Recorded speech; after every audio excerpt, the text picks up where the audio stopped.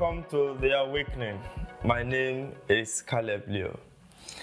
Now, last two episodes I've been on Growing Above The Natural. Today, I'm going to talk about the very third and the last chapter of the book. It's just three chapter book, so it's something you can easily read, which is Novel Breed.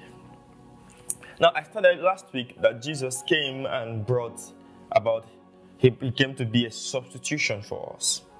Now, today I'm going to explain to you what happens when we accept his substitution. He said he came unto his own, that is Jesus, but his own received him not.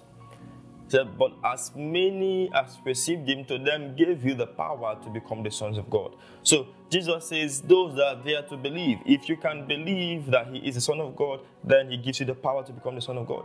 He gives you that power to become God's son as well. So he came as a substitution, and then he said, If you believe in my substitution, what then happens?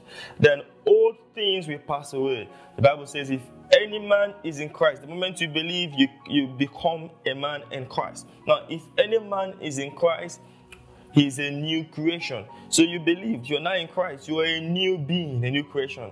Now it goes on to say, Old things are passed away, all things have become new. Now, this is what he's saying. I come and I believe in Jesus. I declare Jesus is Lord. Now I'm saved. I'm now a new creature. The Bible tells me that my old ways, the ways of Adam, my past sins, everything I've done in the past, all my mistakes, all my wrong turns, the Bible says they are all passed away. The old is gone. The new has come. I am now a new being, brand new, born again. That's where the term born again comes from. The Bible says you must be born again. So being born again means you are born of the water and of the word. So he takes you, he washes you, and you become a new breed. You still look the same way you look. Your mind still thinks like it used to think. Um, you still have the same thing stored in your brain. Nothing changes about you, but deep down, your spirit is renewed.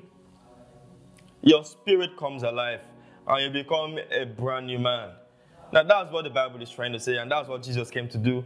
So, the moment you accept Him, you're a brand new man. Now, when you're a brand new man, what does it mean? It then means that you are no more bound by the curse of the law, the curse of sickness, the curse of death, the curse of poverty. They're no more bound by, you're no more bound by them. You've been delivered from the curse of sickness. You've been delivered from the curse of poverty. You've been delivered from the curse of eternal death. He was chastised, he was flogged, beaten because of your sins. He was bruised for iniquities, rather, he was chastised for your sicknesses. And then he became poor so that you would be rich. So Jesus, the perfect substitution, came and then he made you brand new. Now, in the next episode, I'm going to explain to you what to do as a brand new person living in the supernatural. Now, do well to comment down below. I want to get comments from you.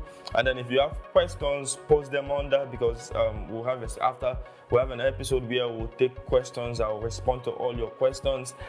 And as well, like, subscribe to this channel and share this very episode. God bless you.